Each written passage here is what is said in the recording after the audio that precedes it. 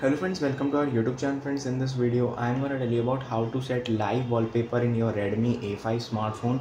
So let's start the video friends. First to select set wallpaper you have to first come to the settings of your smartphone. Then friends you have to click on this. Here it is showing display.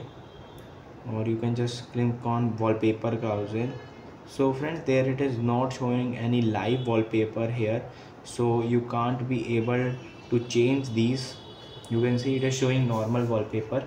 So you can just change it from the play store application right here live wallpapers and tap on here. You can just uh, click on these and you can download any of the live wallpapers here. I hope you like this video. If you like this video then subscribe to our youtube channel for more helpful tips and tricks videos. See you next time